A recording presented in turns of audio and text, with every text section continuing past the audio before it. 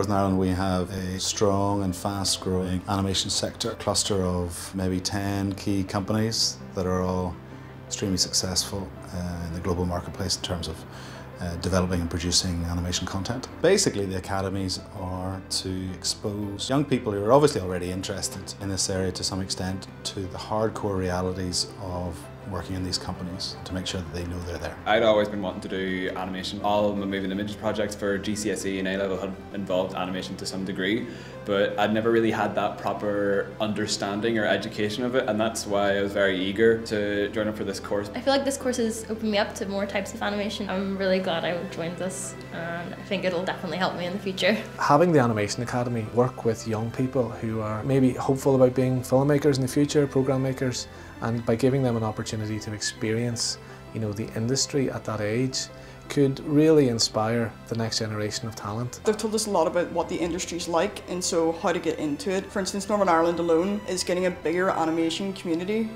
and like the industry, so they are looking for newer animators, so it's opening a lot of doors. One of the things that I think the kids have really taken from this is that animation, yes, it's fun to do in your bedroom, it's fun to do in school as a project, but it's also a market and there's clients and commissioners and broadcasters and people will pay you to do this. This is not just a fun hobby. This is very much a career. I chose this course because I really wanted to learn about the industry itself, the studios and how they work. For the first uh, day I've learned about development, which is the sort of role that would pitch an idea and it, things like that and it just went on from there.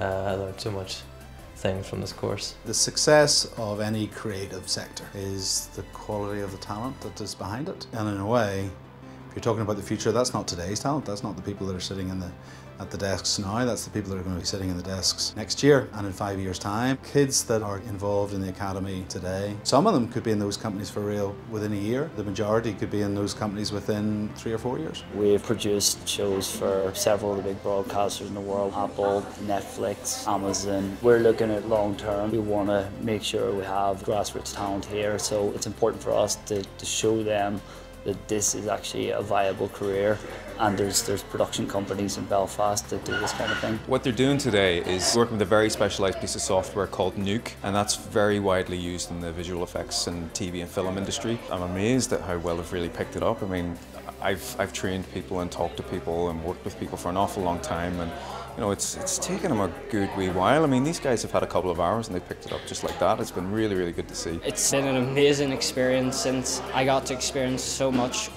of the animation production and learning the ins and outs. I've loved it so far and definitely thinking of going forwards with it. The Animation Academy, I believe, has been a great success. Um, it has been fantastic to take a bunch of 16 to 19 year olds, really enthusiastic kids who really, really are passionate and want to do this, want to get into animation. It's a course that was designed and created by the industry for the industry, and I think that's why it works. I have an interest in animation. I probably want to do it in the future, so it's great to be able to learn from professionals and actually get a look into the industry. We were practicing animation with John McCloskey and he was just teaching us the 12 basic principles of animation.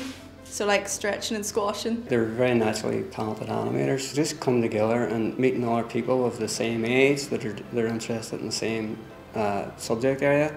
It just kind of feeds their enthusiasm for the subject. All the participants seem to be very keen on animation. Most of them have actually practiced some animation by themselves, either in a sort of college environment or at home. And um, you know they've explored different types of animations. Um, and they're all different, you know, they all have their own sort of specialist interests. Some of them are more into concept art, some of them are more into 3D, but they've all got a dedicated interest in animation. It's a lot of fun with um, meeting new people. He's um, shares the same interest, and also meeting professionals. He's also um, been doing in the same industry and uh, workshops for a very long time. So it's a good thing for me to just to communicate and gain more knowledge. It's really good to start thinking young in this business. This shouldn't something you should come to in your late 20s like I did and you think it's all mystified and so for people who are already successful. So it's great to see more young people getting involved. Here's Baba puffing, but you can see inside little Baba is a, a skeleton. So even though Puffin Rock is a real painterly, warm, textured, gorgeous art style, it's, it's actually based on little rigs and little skeletons. There's a massive need for more talent. We have three new shows coming down, down the road, we need to create for those. So the more talent we have here, the better it is for us. Ideally what we want is to keep the homegrown talent uh, coming through at a rate that actually is sustainable for the industry. The animation workshops are a very good start. It takes an awful lot of people to make an animated series and that means that there are an awful lot of employment opportunities. Working within animation, if you have the right skill level, the right attitude, the right passion and commitment to quality. So the only way we can grow from here is by growing our capacity and that means new talent, new people and good education.